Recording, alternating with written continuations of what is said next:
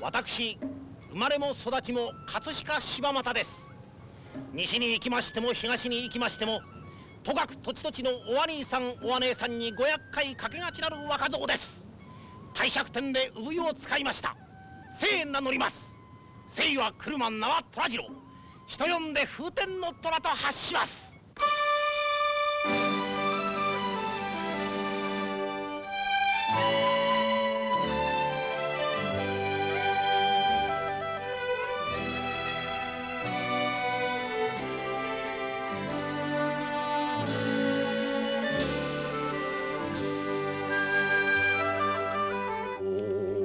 せおいらはヤクザな兄。さくらわかっちゃいるほらさん。だ妹よ。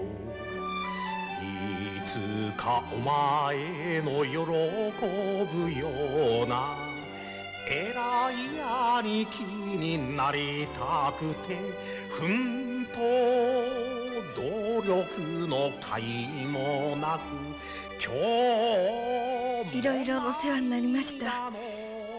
うちこれで。幸せになるんだぜ。はい。ありがとうございます。おい持ってきな。いいから持ってきなよ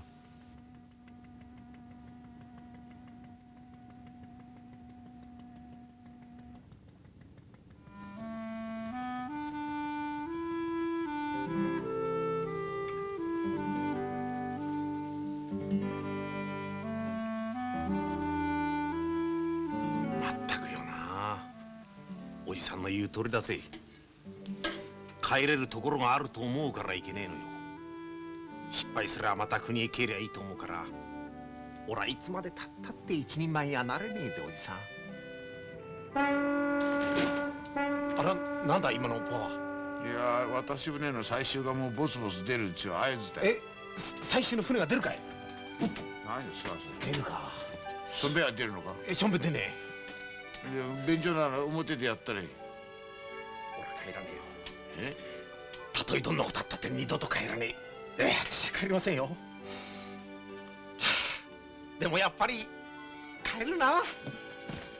あわよ！かわいそうにな。あの人たちと体の悪かとね